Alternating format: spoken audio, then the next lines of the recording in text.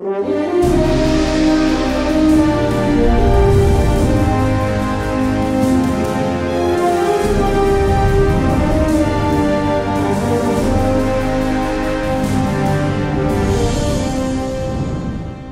Witajcie przyjaciele w programie Apokalipsa Teraz. W tej części będziemy odpowiadać na Wasze pytania, więc dziękujemy wszystkim, którzy je przesłali. Pytanie pierwsze, które widzimy na ekranie. W jakim imieniu powinniśmy być chrzczeni? Tak, to dobre pytanie. Tak naprawdę nie powiedziałem tego wyraźnie podczas wykładu. Słowa, których używa pastor prowadząc ceremonię chrztu, to konkretna formuła, którą należy wypowiedzieć. W Mateuszu 28 Jezus powiedział, chrzcząc je w imię Ojca i Syna i Ducha Świętego. Jednak w Księdze Dzieł Apostolskich mamy dwa albo trzy różne warianty, które mówią o chrzcie w imię Pana, w imię Pana Jezusa, w imię Jezusa Chrystusa. Ogólna idea polega na tym, że zostajesz ochrzczony w imię Boga Biblii. Ty i ja od czasu do czasu prowadzimy śluby. Młoda para składa przyrzeczenie i czasami chcą, żeby była bardziej formalna przysięga, która brzmi czy ty, Elizabeth, Mary, William, Randolph, Hirst, podajemy wszystkie imiona i pełne nazwisko. A czasami mówimy po prostu, czy ty, Bill, bierzesz Mary? Obie te przysięgi są tak samo ważne. Jeśli strony są zaangażowane, a także świadkowie są w pełni świadomi, kto i z kim zawiera przymierze, jest ono w pełni legalne. Wiem, że niektóre kościoły przywiązują dużą wagę do słów wypowiadanych podczas chrztu. W naszym kościele mówimy w imię Ojca i Syna i Ducha Świętego.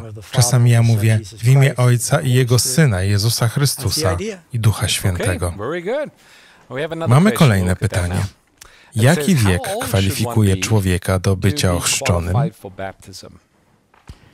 Słyszałem o pewnym pastorze, który w czasie spotkania namiotowego udał się razem z kilkorgiem dzieci i ich rodzicami, aby je ochrzcić. Ktoś zapytał, bracie, czy te dzieci nie są za młode, żeby przyjąć chrzest? A czy są wystarczająco duże, żeby znaleźć się wśród zgubionych? Tak, są więc wystarczająco duże, żeby dostąpić zbawienia. Kiedy człowiek wchodzi w wiek poczytalności i rozumie prawdę Ewangelii. Najbliższe, co możemy powiedzieć na ten temat na podstawie Biblii, wiąże się z żydowską tradycją, która zakładała, że chłopiec osiąga wiek męski, kiedy ma 12 lat. Wydaje mi się, że dzisiaj bar mitzwa ma miejsce w wieku 13 lat. W przypadku dziewcząt jest to bat mitzwa. Ma to być wiek, w którym człowiek wchodzi w dorosłość, zaczyna ponosić większą odpowiedzialność za swoje czyny. Ale niektóre dzieci są gotowe, żeby podjąć te decyzje w wieku 8-9 lat. Być może to trochę wcześniej, ale ja powtarzam, jeśli umieją czytać, prowadzą własne życie z Bogiem, rozumieją, czym jest grzech i co oznacza pokutować, prawdopodobnie są wystarczająco duże, żeby przyjąć chrzest. Następne pytanie. Jest jeden grzech, z którym cały czas się zmagam. Czy powinienem zostać ochrzczony? Um, to zależy, z czym się zmagasz. Um,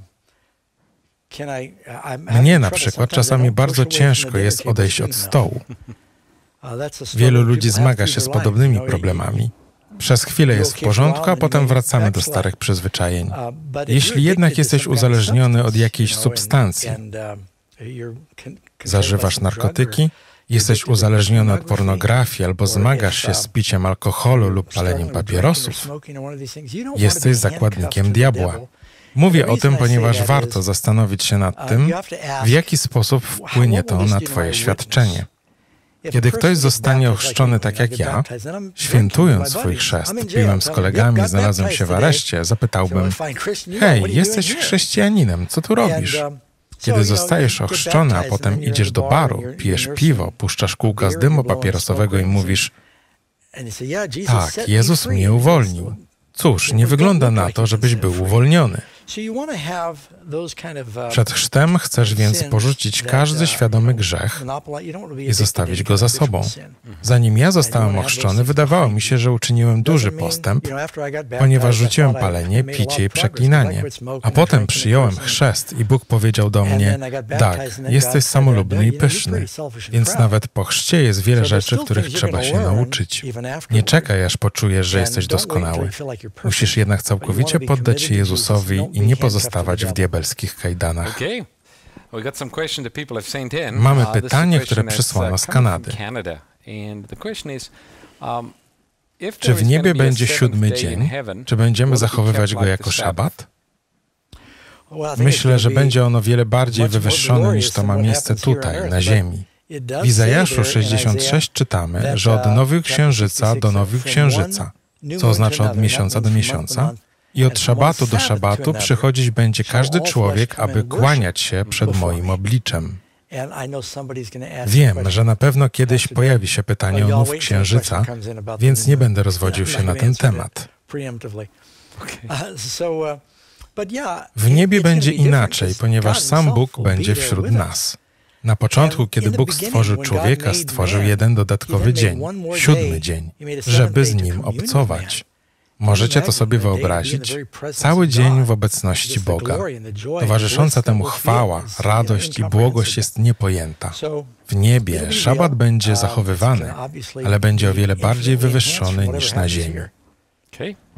Kolejne pytanie. Skąd możemy wiedzieć, że jesteśmy zbawieni? Jezus powiedział: Po owocach ich poznacie ich. Czy kochasz Pana? Czy doceniasz to, co Jezus uczynił dla ciebie? Czy pragniesz z Nim obcować? Czy myślisz o Nim w ciągu dnia? Czy pojawiające się pokusy Cię zasmucają? Czy w Twoim życiu przejawiają się owoce Ducha Świętego? Czy kochasz ludzi bardziej niż wcześniej? Miłość, radość, pokój, cierpliwość, dobroć, wiara, łagodność, wstrzemięźliwość to są owoce ducha. Czy dostrzegasz je w swoim życiu? Być może nie zobaczysz wszystkich z nich od razu, jednego dnia, ale kiedy spojrzysz na całą ścieżkę swojego życia, zauważysz, że zmierzasz w innym kierunku. Kierunek Twojego życia się zmienił. Myślę, że to dobre kryterium. Nie oznacza to, że nie będziesz już zmagał się z problemami i pokusami, ale Twoje życie się zmieni. Tutaj mamy wspaniałe pytanie. Urodziłem się w katolicyzmie, ale ostatnio narodziłem się na nowo. Skąd mam wiedzieć, który kościół praktykuje właściwy chrzest? Wystarczy, że poszukasz w internecie wpisując frazę Kościół, który chrzci przez zanurzenie. Nie trudno to znaleźć. Ja zapraszam Cię, abyś został z nami na kolejne spotkania, ponieważ będziemy mówić o tym, jak w całym kalejdoskopie różnego rodzaju kościołów, które uważają się za chrześcijańskie i w których jest wiele dobrych ludzi, znaleźć ten właściwy. Wiele z nich nie podąża za naukami biblijnymi. Jak więc znaleźć ten, w którym można zdrowo wzrastać pod względem duchowym? Będziemy o tym mówić. Ktoś pyta, czy kiedy Jezus został ochrzczony, rozpoczął nową misję na ziemi? Chrystus tak naprawdę nie rozpoczął swojej służby na ziemi, dopóki nie został ochrzczony. Podlegał swoim rodzicom i prawdopodobnie pomagał w rodzinnym warsztacie stolarskim. Wydaje się, że kiedy rozpoczął swoją ziemską służbę, Józef już nie żył.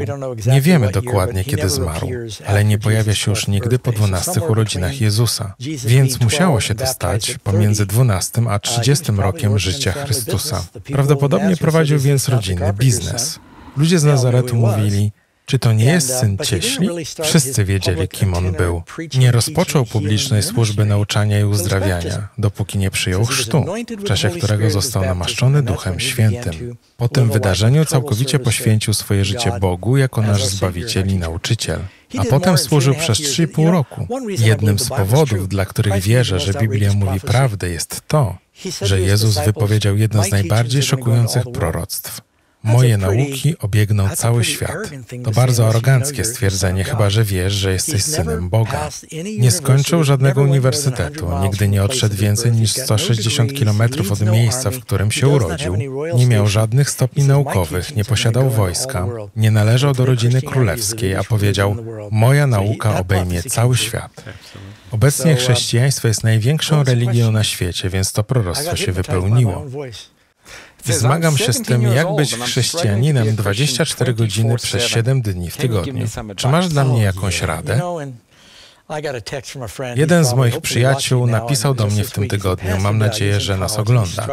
Jest w koledżu i boryka się z problemami w swojej relacji z Chrystusem.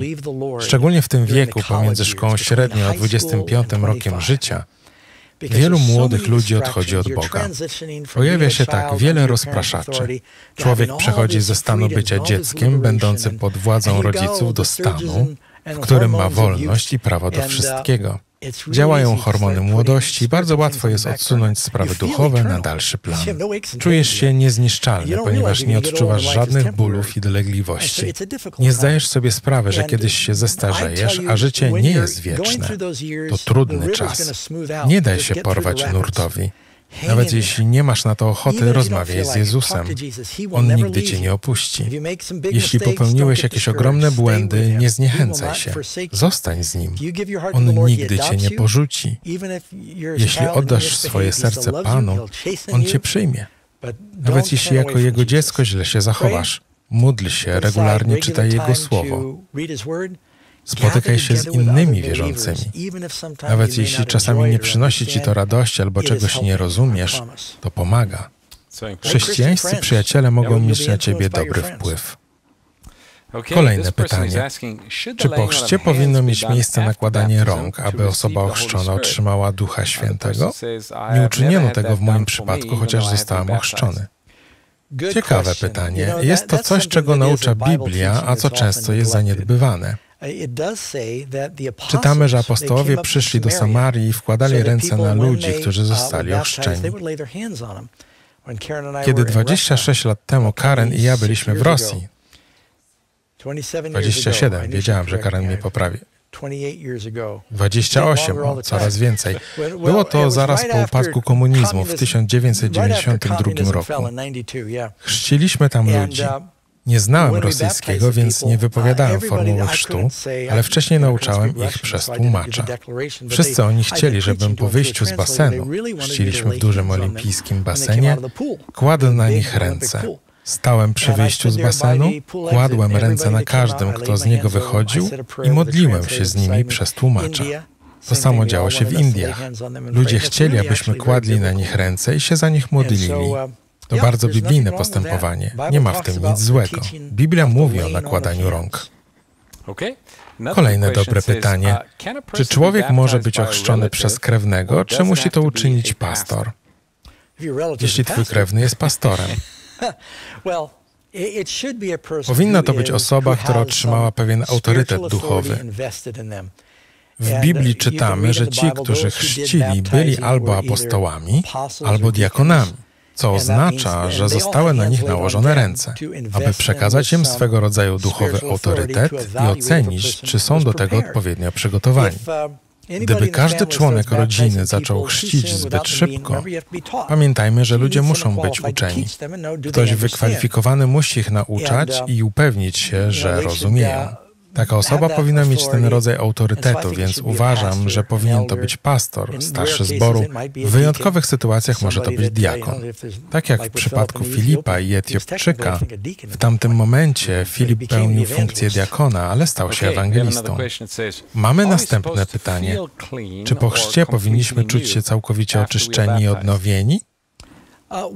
Możesz nie odczuwać niczego. Kiedy przyjmujesz chrzest, jesteś zbawiony przez wiarę. To tak jakby po ceremonii zapytać małżonków, czy czujecie większą miłość? Powinieneś um, wiedzieć, że nastąpiła pewna zmiana, ponieważ zawarłeś przymierze, Złożyłeś obietnicę i teraz wierzysz, że relacja się zmieniła. Zawsze lubię ten moment i podejrzewam, że ty też. Kiedy po tym, jak młodzi wypowiedzą przysięgę i po modlitwie, odwracam się do publiczności i wypowiadam słowa. Na mocy nadanej mi władzy, a także zgodnie ze Słowem Bożym i prawem państwowym, ogłaszam was mężem i żoną. Co Bóg złączył, człowiek niech nie rozłącza. To dla mnie wielka przyjemność przedstawić Wam Pana i Panią. I w ten sposób ogłaszam ich jednym ciałem. Stają się nowym związkiem.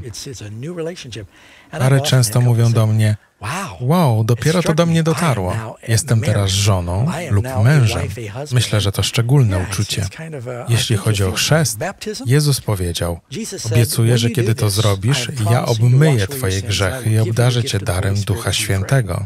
Uwierz w to, a wtedy to poczujesz. Jeśli uświadomisz sobie, że wszystkie Twoje grzechy zostały obmyte, na pewno poczujesz się lepiej.